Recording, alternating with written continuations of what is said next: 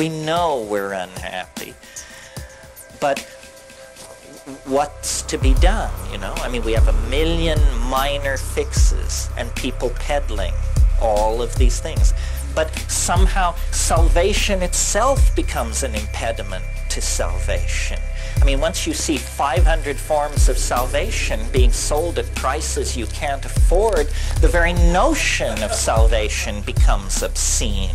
You know, it becomes one more layer in the obscene layering that takes meaning out of life and disempowers us and turns us into a subscription customer. That seems to be how we always are being forced to end up.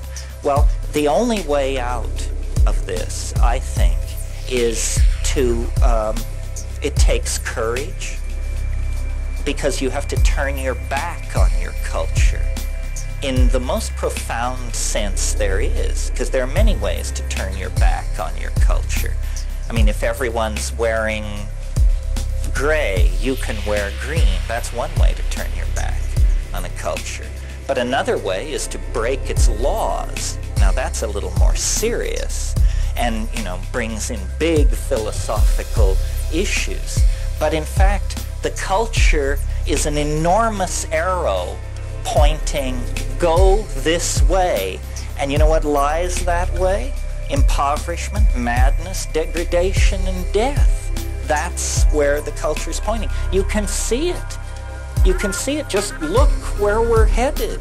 Uh, uh, if everyone on earth aspires to the kind of lifestyle that you people can enjoy by virtue of having paid the money to be at a scene like this, there isn't enough glass, metal, and plastic in the planet to make that many celicas and uh, jaguars and bluebirds and snowbirds and all the rest of this crap. So what is needed is uh, an awakening.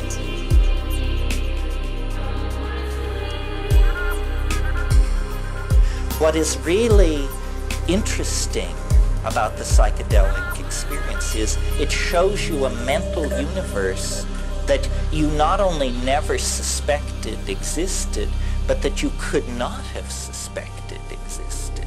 I don't think there's another way to it. I mean, I'm not ready to categorically say there's no other way to it. And occasionally, especially at gatherings like this, people grab me and assure me there are other ways to it.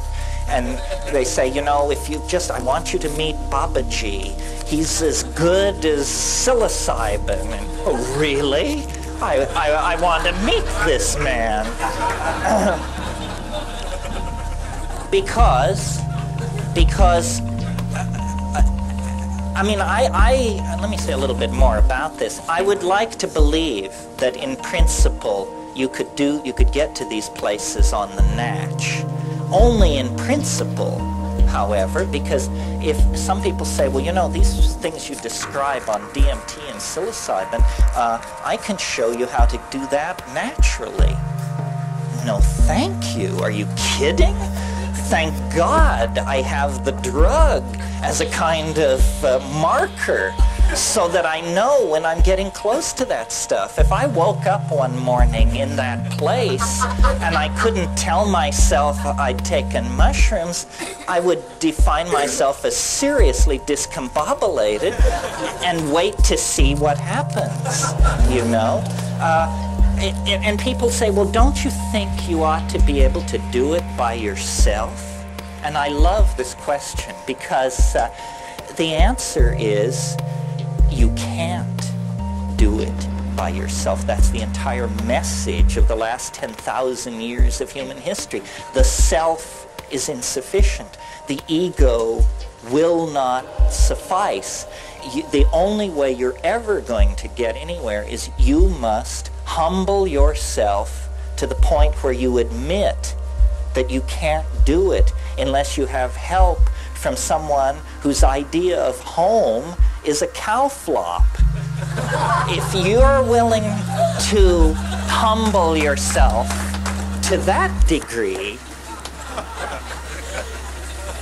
then maybe we can get somewhere.